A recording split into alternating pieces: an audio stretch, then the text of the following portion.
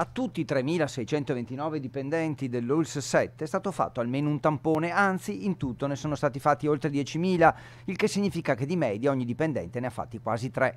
I positivi rilevati sono stati 208, che corrispondono al 5,7%, di questi 27 sono medici, 111 infermieri. È il bilancio dei controlli effettuati finora dall'ULS 7, che ha tamponato anche quasi tutti i 231 medici di base e 40 pediatri su 44, test rapidi e tamponi anche al 99,8% dei circa 7.000 tra operatori ospiti delle case di riposo.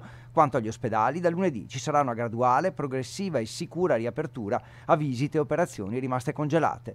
Vorremmo un'intelligente e ragionata ripresa con priorità per chi ha veramente bisogni di salute. Quindi il primo criterio è il criterio clinico. I varchi d'ingresso agli ospedali saranno pochi e ben controllati e in ospedale ci si andrà da soli.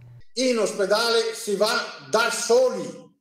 Uno, una persona va in ospedale per fare quello che deve fare lui Solo le categorie fragili, pazienti che devono per forza essere accompagnati, che non hanno autonomia, possono avere l'accompagnatore. Quanto al nuovo focolaio di Covid-19 rilevato all'ospedale di Asiago tra alcuni ricoverati, è la dimostrazione che serve prudenza. La struttura era stata chiusa per sanificarla e poi riaperta con soli 18 posti, tutti sullo stesso piano. Ora questi nuovi casi apparentemente senza spiegazione. Alla riapertura abbiamo avuto in ripresa due piccoli focolai. Piccoli focolai non vuol dire nulla di straordinario, ma abbiamo trovato delle positività che non riusciamo a spiegare su pazienti ricoverati. Anche Asiago riaprirà gradualmente dal 4 maggio, con tutte le procedure e i controlli previsti dal protocollo regionale.